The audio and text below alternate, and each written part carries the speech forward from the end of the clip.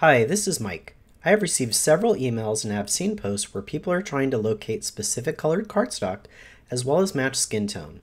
Not only do I have a free skin tone printable color pack available, which I will link below, I am also going to show you how to do your own color matching from a photo, as well as how to color match a specific color should you have a hard time locating it. For this tutorial, we will be using Silhouette Studio.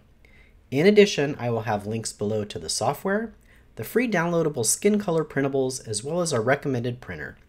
Please keep in mind due to screen and printer calibrations, you may not get the exact color you are intending. However, this technique will really help you out when you're in the bind for a specific color. So let's get started. We are going to use a photo, and I do have a photo that I've already downloaded.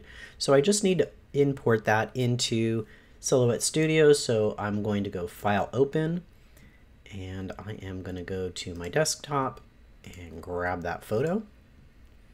And here, the, here is this photo.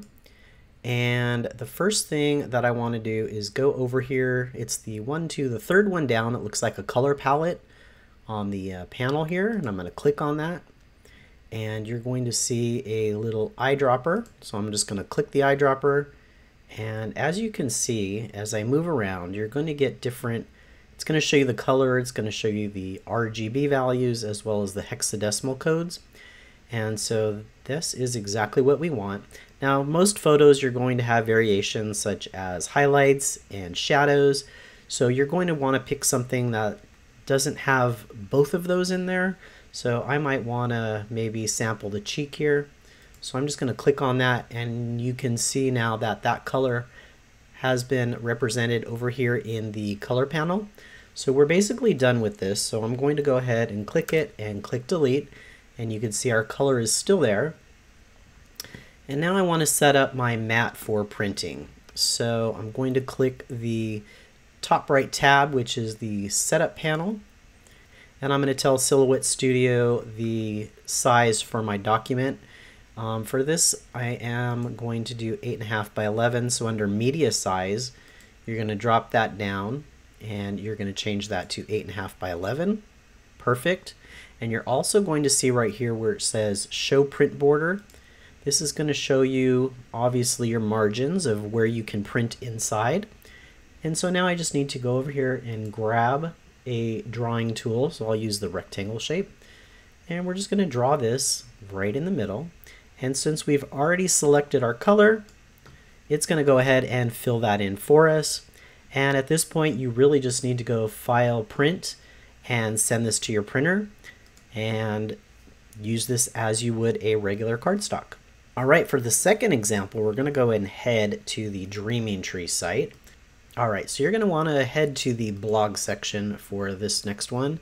And we do have one, a blog, I think it's on page two, uh, American Crafts AC Cardstock Pack Legend. So say you're making a project and I don't know, you are missing sapphire and you just cannot find sapphire anywhere anywhere. So you go to the blog. If you're on a PC, you're going to hit Control F.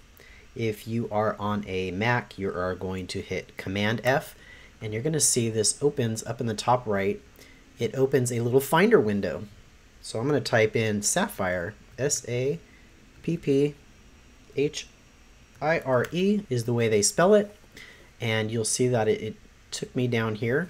And you'll notice down here that it took me to that. If, if I was not on the page and I clicked the little arrow button, it will take me back to where that was.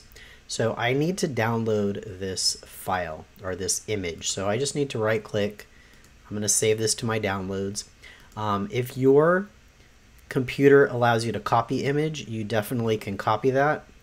And you can open up Silhouette, right click and paste it. Perfect.